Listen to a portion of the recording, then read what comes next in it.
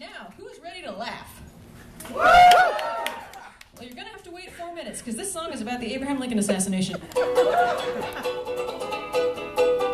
Well, here we are, Ford Theater. Wow, this is kinda awesome. I don't know what this play is, but I don't really care. Cause holy crap, I can't believe the president is here. I can't see him, but I know he's sitting up there. When Harper's Weekly runs his picture,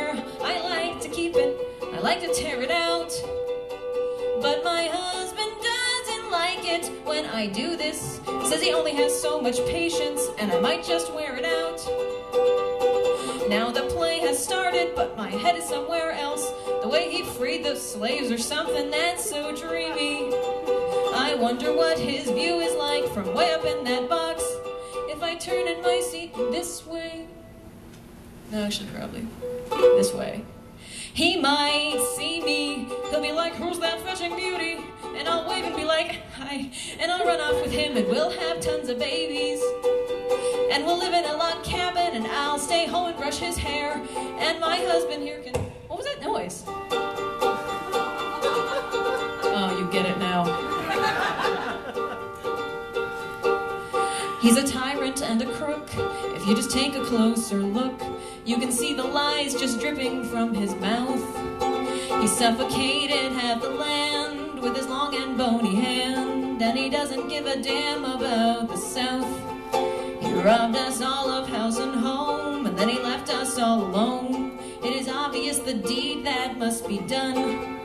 He can't be trusted with the power, and now the clock has struck the hour. I act on the behalf of everyone, and I'll liberate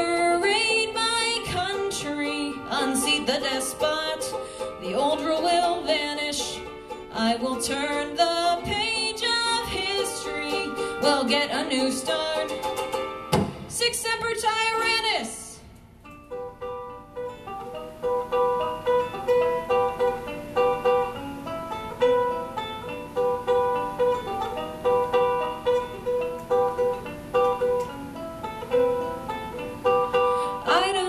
This play. All the actors stink and the laughs are cheap.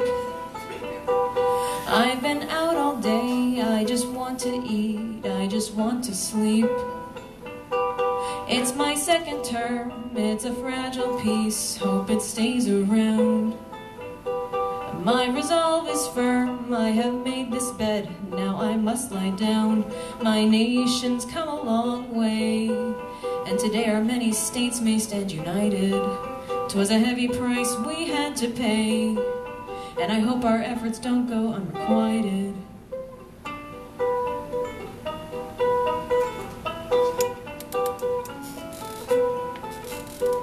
Time has not been kind. We lost thousands of boys. I lost two of my own.